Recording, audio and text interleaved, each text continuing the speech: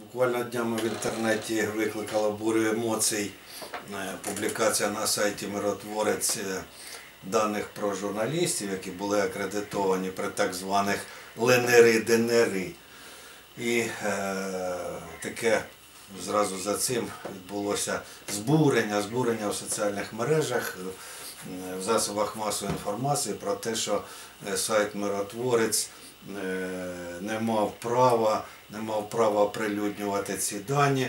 Ці дані. А ці дані, до речі, вони були добуті е, шляхом хакерської атаки, е, хакерської атаки на е, сепаратистські, на сепаратистські ресурси і е, взяти, взяті звідти.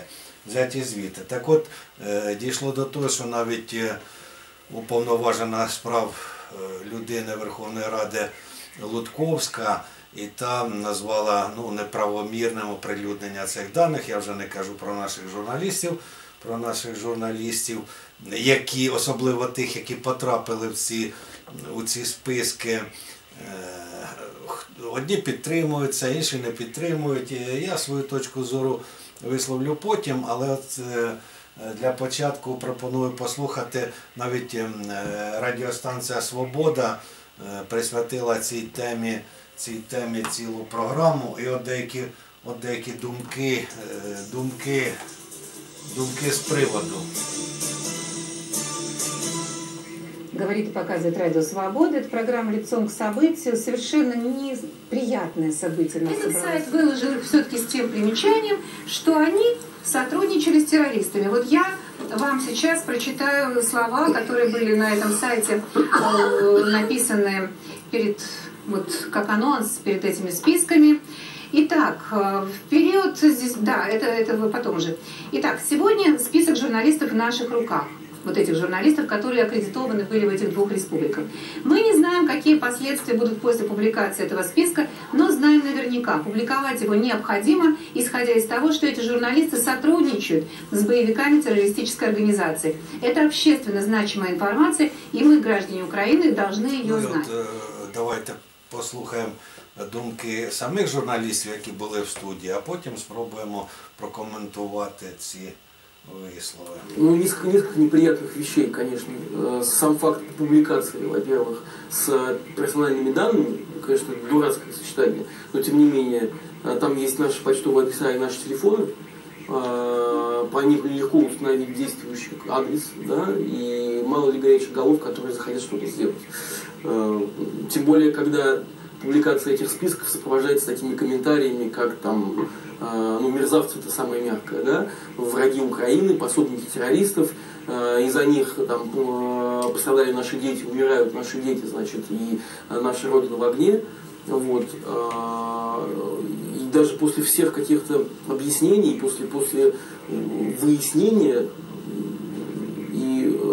каких-то многочисленных дискуссий, которые вчера протекали, э, авторы этого слива, и организаторы публикации не удосуживаются внести ясность, собственно, и э, попытаться как-то внятно э, объяснить, зачем они это делают, да, и почему они продолжают так настойчиво стоять на необходимости не только публикации, Если мы успеем вот его проходку отследить из самолета, то Тем более мне обидно за чешских коллег, которые аккредитовались, да, которые там работали и которые делают, ну это же бред, извините, э, список.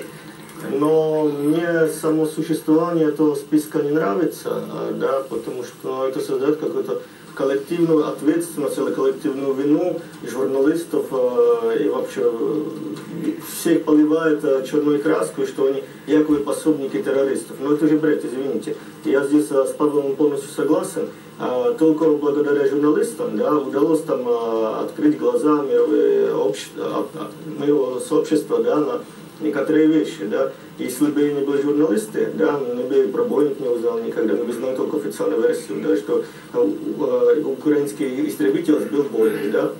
Ну, э, тем более мне обидно за чешских коллег, которые аккредитовались, да, которые там работали, и которые делают тоже немало для Украины, а сейчас они для них э, террористы. Ну, это как-то неправильно с моей точки зрения. Ну, це, от, власне кажучи, думка зарубіжних журналістів, і їх ще можна зрозуміти. Зрозуміти в тому плані, що е, ну, вони якби дивляться на ситуацію, е, на ситуацію з боку, як відсторонені спостерігачі, але мене дивує позиція наших журналістів. Ну, я не кажу навіть про тих, хто, хто потрапив у ці списки, а хто е, взявся коментувати, взявся висловлювати своє обурення.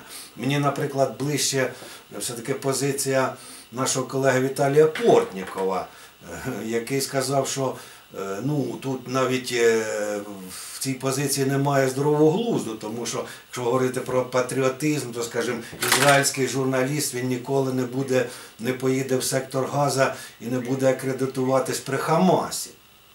І ніхто не буде, е, навіть іноземні журналісти, е, хто назве їх нормальними, якщо вони спробують там акредитуватись при Талібані. При Талібані для того, щоб ну, якби об'єктивно висвітлювати е, хід війни. Я навіть більше скажу, що ну от, уявіть собі, уявіть собі, що в 42-му році, коли Донецьк і Луганськ був окупований, і хтось би з військових кореспондентів, там, типу Костянтина Симонова чи Бориса Полєвого, поїхав би, поїхав би в поїхав би на ці окуповані німцями території і е, акредитувався при е, Луганському чи Донецькому гестапо. Розумієте?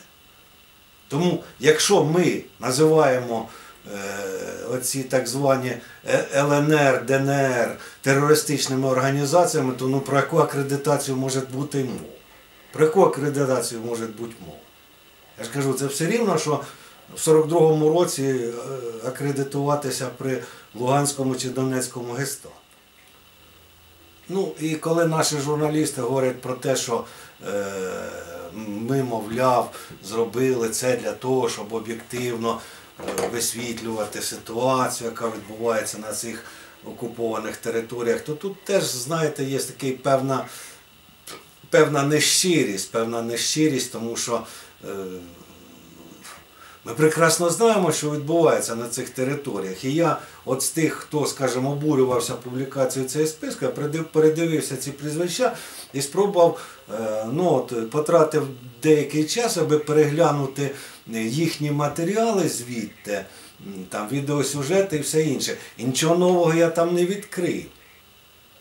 Так, справді, деякі іноземні журналісти, е, вони, як кажуть, десь е, завдяки своєму е, не скільки там е, акредитації, акредитації при оцих організаціях, скільки е, своєму якби, статусу зарубіжного журналіста, своєму авторитету своїх країн, вони зуміли все-таки десь, е, ну скажімо так, пролізти, пролізти і добратись до таких речей і висвітлити їх і показати. Оце да. А наші, ну що, ну я от подивився, до речі, репортаж ну, однієї журналістки, е, ну, яка там ну, знімала, скажімо, в окопі.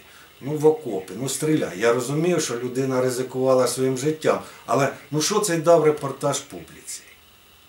Що цей репортаж? Що він показав людям? Що стріляють? Так, стріляють.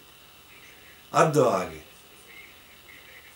Я ж не бачу жодного матеріалу, який би, скажімо, ну, щось, від, щось для когось е, в наших журналістів, який би щось для когось відкрив нове. Розумію, що, е, звісно, висвітлювати ці події треба, але я не думаю, що е, об'єктивне їх вис... об'єктивному їх висвітленню допоможе от акредитація при оцих організаціях, які ми називаємо терористичними.